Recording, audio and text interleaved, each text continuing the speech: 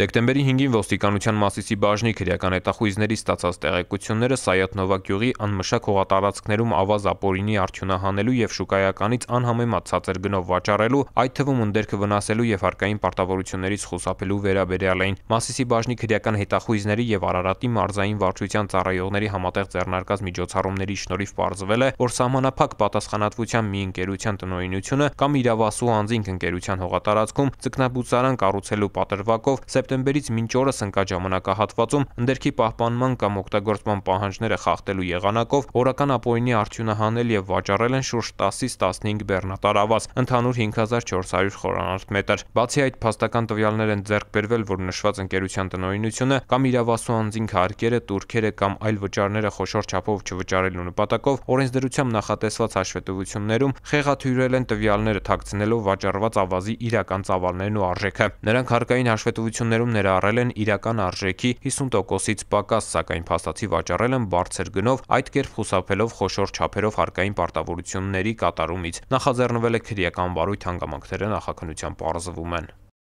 Ծանուցում ենթադրյալ հանցանքի մեջ կասկածվողը կամ մեղադրվողը համարվում է անմեղ, քանի դեռ նրա մեղավորությունը ապացուցված չէ Հայաստանի Հանրապետության քրեական դատավարության օրենսգրքով սահմանված կարգով՝ դատարանի օրինական ուժի մեջ մտած դատավճռով։